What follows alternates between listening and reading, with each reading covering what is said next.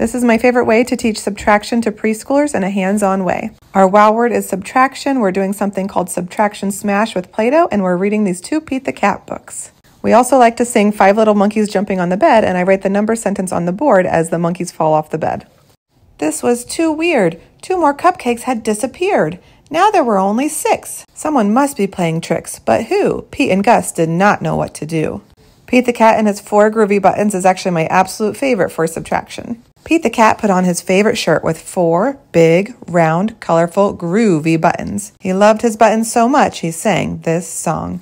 My buttons, my buttons, my four groovy buttons. My buttons, my buttons, my four groovy buttons.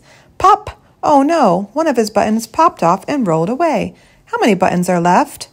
Three. Four minus one equals three. Did Pete cry? Goodness no. Buttons come and buttons go, and he kept on singing his song. Then I'm going to model subtraction smash under my document camera before we all do it together. I roll six Play-Doh balls and then count them.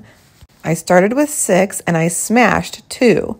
Six minus two equals, how many do we have left? One, two, three, four. And then we'll keep going modeling different number sentence until all of the balls are smashed and gone.